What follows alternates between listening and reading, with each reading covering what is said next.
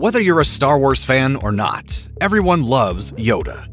Sure, people mostly tend to go gaga for Grogu these days, but remember that once upon a time, everyone called The Mandalorian's best character Baby Yoda, because this Star Wars species name is still a big mystery. That's a good point. You've given me a lot to think about.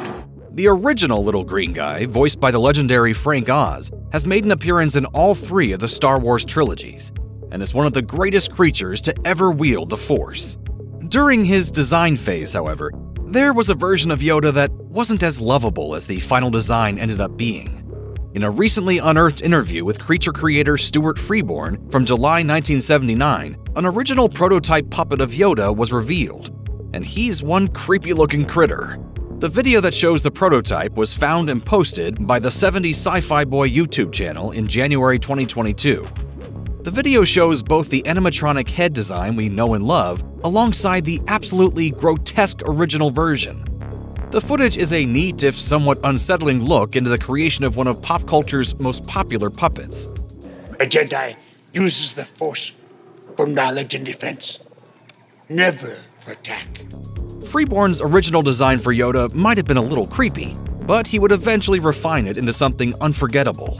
The special effects makeup master was already well known by the time he was hired to make movie magic for George Lucas. Directors would frequently come back to Freeborn, and he worked with some of the biggest names in genre cinema in the 1960s and 70s. Freeborn collaborated twice with director Stanley Kubrick, creating the ape like ancestors for the Dawn of Man sequence in 2001 A Space Odyssey, and turning actor Peter Sellers into multiple characters for Doctor Strangelove. He also worked with Richard Donner repeatedly, making Christopher Reeve into the perfectly chiseled Kryptonian for Superman, and designing the Devil's Spawn, Damien, for The Omen.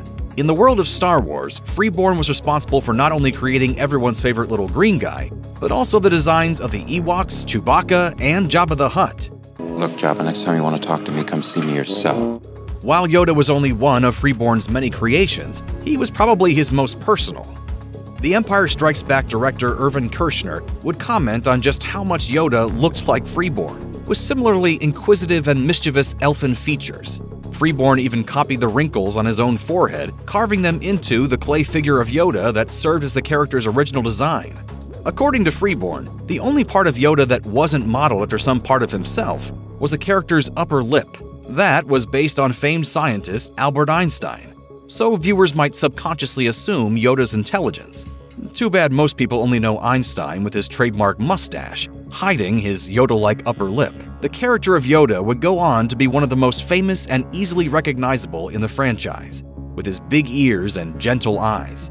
Though the character dies in Star Wars Return of the Jedi, he would return for the prequel films in a younger form, and appear in the sequels as a Force Ghost, making him one of the few characters to appear in all three trilogies. Master Yoda. Young Skywalker. For people with a fear of puppets, the original Yoda puppet might be one of the creepiest creations ever made. Even if you aren't frightened by fabric faces, this guy is just pretty unsettling. One eye of the Yoda prototype is squinting, as if the legendary Jedi is peering into the future, while the other is wide open, like he can also read everyone's thoughts. As Freeborn explains the character and the design, he continues moving his hand inside of the puppet's mouth ever so slightly, so it looks as if Yoda is sort of chatting along with him. He, he's quite a clever little fellow. He's 400 years old, and of course, he has the power of the Force. There are plenty of terrifying and adorable creatures in Star Wars, ranging from the sneaky Jawas to the slug like Hutts.